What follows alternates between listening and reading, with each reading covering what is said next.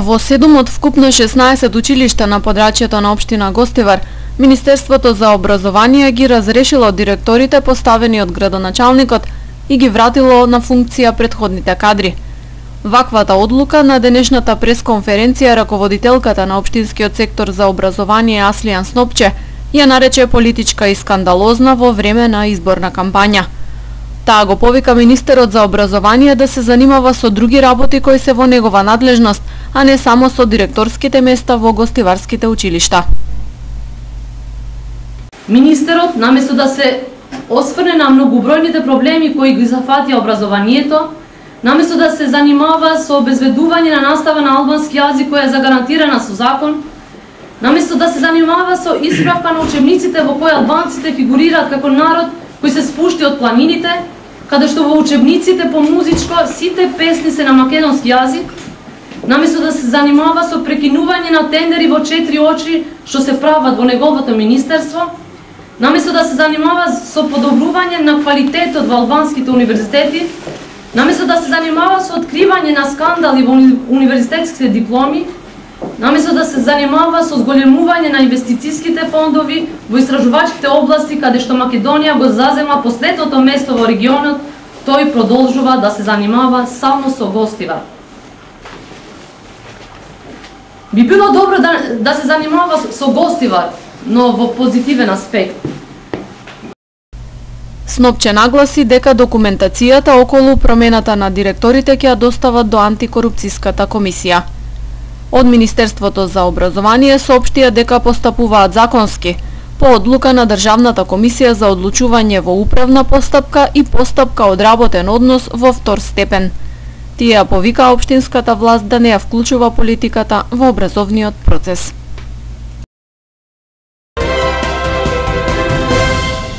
Обштините од Полошкиот регион потрошиле 410 милиони денари за јавни набавки во 2017 година. Покажува истражувањето во врска со трошењето на јавните средства на Институтот за стратешки истражувања и едукација од Скопје. Според анализата на транспарентноста, отчетноста и интегритетот на општините од Полошкиот статистички регион, ниту една од нив нема формирано јасен систем на следење на реализацијата, односно исполнувањето на јавните набавки. Покрај тоа не ги објавиле огласите за јавни набавки на својата интернет страница. Од друга страна, речи се сите општини во најголем дел ги почитуваат своите обврски за доставување на известувања до Бирото за јавни набавки. Но со оглед на фактот дека интернет страницата на општината е првиот контакт на граѓаните со општината, а се со цел постигнување на транспарентност, препорачливо е да се објавуваат овие известувања и на интернет страниците на општините, велат од институтот. На ниво на Република Македонија, општините од Полошкиот плански регион се некаде на средината на листата, што значи дека се во рамките на националниот просек, секогаш има и можност каде тоа да се подобри, но во основа има добра основа. Ние во а, следните неколку месеци спроведуваме ново истражување, ова беше за 2017 година, следното истражување ќе се унесува на 2018 година, па ќе видиме истите параметри ќе ги мериме и за 2018 година и тогаш имаме пореална споредба на постигнување образованијата на општините. А, оние делови во кои што е можно да се подобрат обштините делот на транспарентност, делот на објавувањето на огласите за јавни набавки на нивните веб страни, делот на објавувањето на договорите за јавни набавки на нивните веб страни, секако и плановите за јавни набавки на нивните веб страни, зашто знаете дека обштините ја запазуваат законската обврска да ги објават нивните сите тие документи на веб страната на Бирото за јавни набавки, меѓутоа непосредната комуникација на обштините и нивните граѓани се остварува преку веб страните на обштините, па затоа ние го мериме и тој дел колку обштини нивните на нивните веб страни ги прават достапни овие информации кон нивните граѓани. Понатаму ние анализиравме начинот на организирање на јавните набавки, а, колку понудувачи се јавуваат на секоја одделна набавка. Може да заклучиме дека на бројот на понудувачи е во рамките на националниот просек, а целта е да се јавуваат што повеќе понудувачи да се постигне подобра цена и да се постигне подобра понуда. Во тој дел општините од Полошкиот плански регион се во рамките на националниот просек, меѓутоа секогаш има можност за подобрување понатаму. Она што го забележавме, имаме девет различни општини во нашиот плански регион кој што го истражувавме и ги поделивме на од една група се гости Тетово, на друга група се сите други, зашто сите други се многу мали општини кои што имаат многу малку пари, кои што спроведуваат 7, 8 или 9 набавки на годишно ниво и нормално дека тие имаат поограничени капацитети. Од друга страна општина Гостивари и општина Тетово трошат повеќе пари и имаат поголеми капацитети во делот на човечките ресурси, во делот на комисиите за јавни набавки, во делот на процедурите за спроведување на јавни набавки, секако Тетово, општина Тетово и општина Гостивари ќе покажат поголеми капацитети зашто имаат и поголеми пари и поголем број на вработени. Резултатите од истражувањето со препораки им беа презентирани на дел од градоначалниците на тркалезна маса одржана во Брвеница. Вчера околу 14 часот и 20 минути на регионалниот пат Групчин Тетово, со локалниот пат за Палатица во Желино, патничко возило Peugeot 306 со тетовски регистарски ознаки, управувано од АСот Групчин, 23 годишен, загубило контрола и излетело од коловозот и удрило во бетонска подлога на која биле поставени собрекајни знаци. По излетувањето до ирањето, четворицата со патници во возилото ЕИ, ЕШ, ФВ и АС од Групчин со друго возило пренесени се во Тетовската клиничка болница за окажување на лекарска помош. Извршени увити се работи на целосно расветлување на случајот. 69 годишната гостиварка ДГ вчера пријавила дека на 3 април околу 19 часот и 30 минути во паркот на улица Мајор Чеде Филиповски во Гостивар, незиниот 17 годишен син, врекајќи се кон домот, бил нападнат од кучиња бездомници и каснат на левата нога. Се работи на расчистување на случајот. Значи, вчера Обштинската организација на Сојузот на борци од Тетово го одржа првото редовно собрание. На ова собрание присуствуваја и ќе искажам благодарност поголем број од членовите и беа донесени повеќе заклучоци. Дневниот ред на состанокот беше извештај за работата на Обштинската организација за периодот 2018 година, како предлог извештај беа донесени а, и презентирани од собранието програмата за работа во оваа тековна 2019 година. Се разбира, тука беше и предлог извештајот на Обштинската организација околу финансирањето за минатата година и се разбира предлог програма за финансиската работа на нашата општинска организација на Сојузот на борци од Тетово за оваа 2019 година и на крајот од председателот на надзорниот одбор беше презентирана и целокупната работа на нашата општинска организација на Сојузот на борци од Тетово. Во оваа пригода сакам да кажам дека извештајот беше презентиран пред членовите и би опфатил само некои активности што беа превземени минатата година. Тука се разбира беа насочени кон реализација на предвидените цели и задачи за доследно реализирање на програмата и активностите кои се предвидени во календарот за одбележување на значајни историски настани и личности. Тежиштето на работа во текот на 2018 година беше насочено кон негување на придобивките од Народно-ослободителната и антифашистичка војна од 2000 од 1941 до 45 година, но и кон вкупната национална ослободителна борба на македонскиот народ. Во таа насока доследно се почитуваше календарот за одбележување на значајни историски настани и личности од историјата на Република Македонија, но и на нашиот град Тетово. Централно место се разбира во одбележувањето на овие историски настани завзедоа празниците 9 мај, денот на победата на фашизмот, 2 август, денот на Илинденското востание и денот на Асном, 11 октомври, денот на Народното востание и денот на Борецот, како и 19 ноември, денот на ослободувањето на нашиот град Тетово. Се разбира дека на овие празници се организираа пред споменикот на револуцијата во Тетово.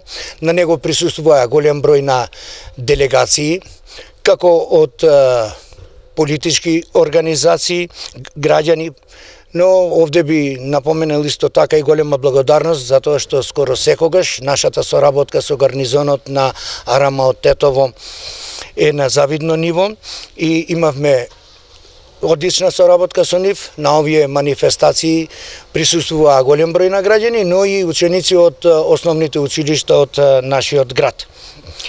И покрај тоа што би кажал со календарот за одбележување настани личности, голем дел од нив се планирани и се одбележуваат на секој пет години. Овде мора да споменеме дека имаме одлична соработка и со музеот на градот Тетово, на музеот на Тетовскиот крај, формирањето на Централниот комитет на Комунистичката партија и други настани што се поврзани во заедничката соработка. Тука би ја одбележали соработката со Обштинската организација на Сојузот на борци од Гостивар, но да напоменем дека имаме и меѓународна соработка, а тоа е со Сојузот на борци од Обштина Штрбце, таа веќе на некој начин стана и традиционална. Може да ни кажете кои се активности за 2019 година? Така. Активностите за 2019 година се реализирани и затоа мислим имаме планирано, тоа е изготвена програма за реализација и во таа програма има повеќе точки од кои се разбира би издвоил неколку како прво дека достоинствено ќе се одбележуваат сите значени и датуми и настани и личности од поблиското и подалечното историско минато, а пред се на народно-ослободителната и антифашистичка борба на Тетово и Тетовско и Република Македонија со организирање на манифестации, собири, средби, трибини и вид друг активности. Во 2019 година се навршуваат и 75 години од ослободувањето на нашиот град Тетово.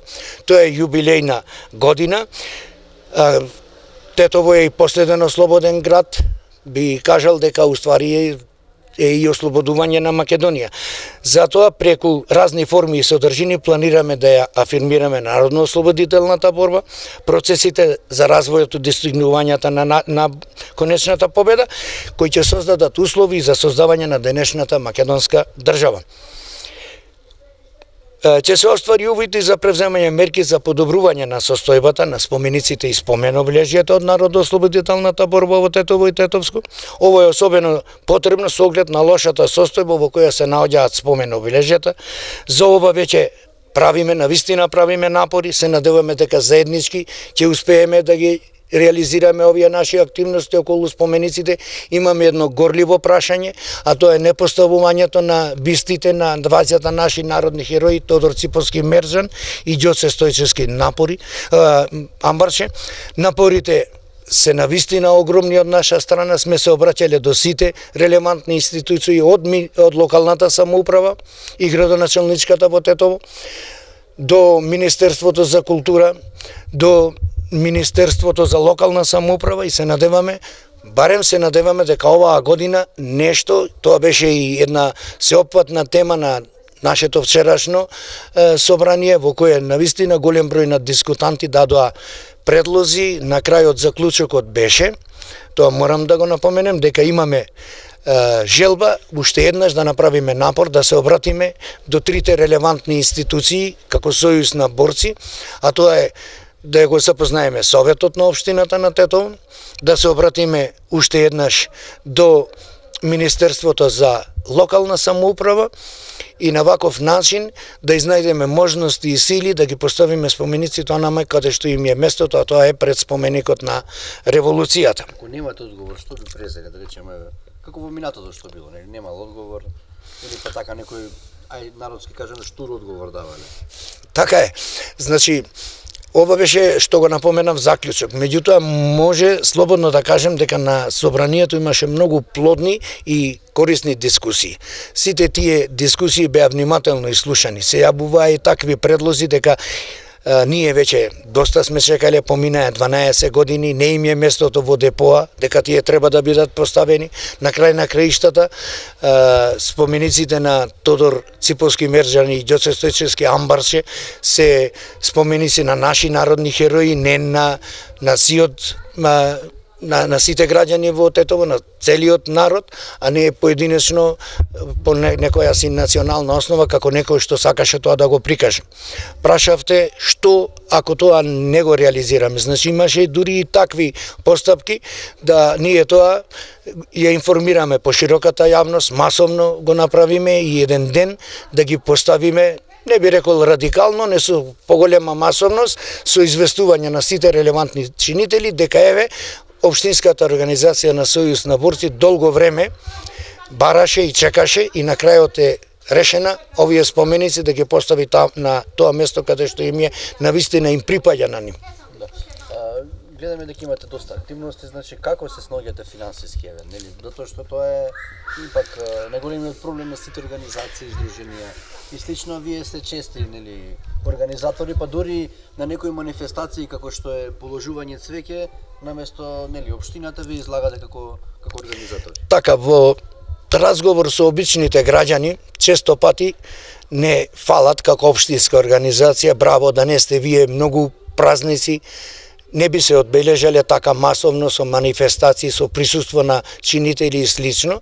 И овде сакам само да дополнам дека Обштинската организација на Сојузот на борци е една од редките општински организации на ниво на нашата држава која има се уште своја сметка, значи сметката нас не ни е блокирана, сме изнаоѓале можности и средства до сега, па и преку донации и слично, да не дозволиме сметката да ни биде затворена. Меѓутоа, прашањето е многу фино поставено, што и како се снаоѓаме со финансиски средства. Еден дел одговорив, меѓутоа, во понатамошниот тек на вистина, ќе ни би представува финансиски проблем ако не добиеме поддршка од локалната власт, ако не добиеме поддршка од централно ниво, не знам колку е информирана јавноста дека и сметката на главниот одбор во Скопје е блокирана. Се прават напори преку министерствата да се помогне на оваа организација на централно ниво, значи на главниот одбор, а со самото тоа да има средства и за нас, обштинските организации.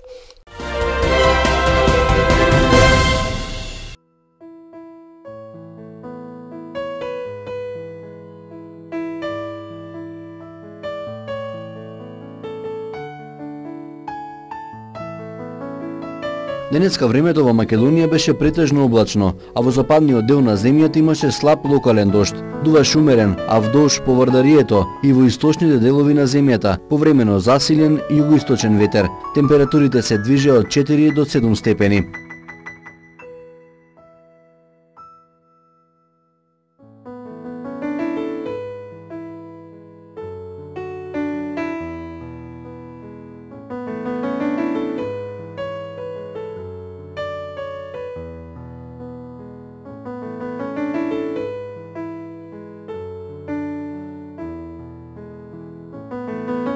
Времето утре ќе биде претежно облачно, а во јужните делови со локални врнежи од дожд. Ќе дува повремено заселен ветер од југоисточен паравец. Температурите ќе се движат од 3 до 11 степени.